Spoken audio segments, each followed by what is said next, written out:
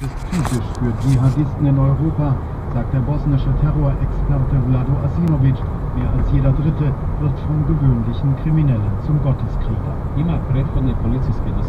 Es gibt Polizeidossiers über sie. Manche von ihnen wurden wegen schwerer Straftaten verurteilt.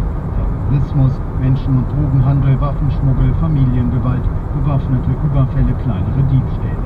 Der IS setzt in seiner Propaganda genau auf solche Leute. Seine Botschaft heißt, es ist nicht wichtig, wie du bisher gelebt hast, sondern wie du stirbst. Er gibt ihnen also die Möglichkeit, Schuld zu sühnen, wenn sie im Dschihad, in Syrien oder im Irak sterben. Božji put u Siriji i Iraku opravdavaju i iskupljuju sve one grijehe koje su napravili protiv života. 200 Bosnier sind bereits dem Ruf des IS gefolgt. Der Balkan bietet radikalen Missionaren Vorteile. Hier ist der Islam bereits heimisch und nach den Bürgerkriegen der 1990er Jahre sind noch unzählige Waffen.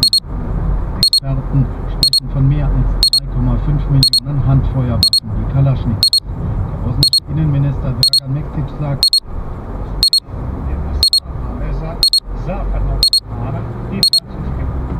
Seit mehreren Jahren gibt es in Sachen illegaler Waffenschmuggel eine Beziehung zwischen dem Westbalkan und Frankreich. Hier gibt es nach den letzten Kriegen noch immer viele Waffen, nicht nur in Bosnien, auch in Kroatien, Serbien, Kosovo, Mazedonien. Es gibt organisierte kriminelle Gruppen, die Waffen schmuggeln. So soll der Killer des Jüdischen Museums in Brüssel 2014 eine Balkan-Kalaschnikow benutzt haben. In der IS-Vorstellungswelt soll der Balkan dem selbsternannten Kalifat einverleibt werden. Vor einem halben Jahr rief der IS in einem Propagandavideo die Muslime des Balkan deshalb Anschlägen. Heimische Kämpfer drohen in ihrer Sprache, etwa der Albaner Al-Mirdaci.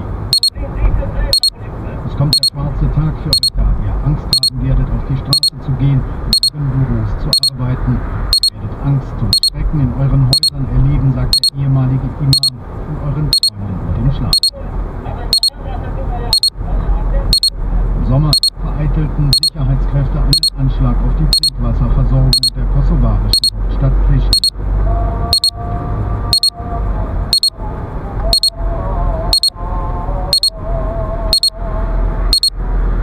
Terror richtet sich nicht nur gegen Andersgläubige, sondern auch gegen Muslime.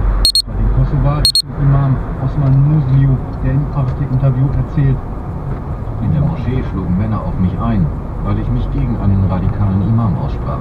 Ich wurde bewusstlos, mein Arm war gebrochen.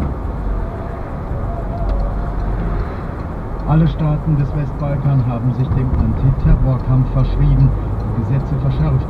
Die Kämpfer des IS bekommen auch Rückendeckung, etwa von dem früheren UCK-Kommandanten Cesai Shachidi. Viele junge Menschen Balkan schließen sich dem IS an. Genauso wie viele Kämpfer aus Westeuropa. Alle machen das freiwillig. Doch wir wollen die IS-Kämpfer nicht verurteilen. Beim IS kämpfen schon sogenannte Balkanbrigaden.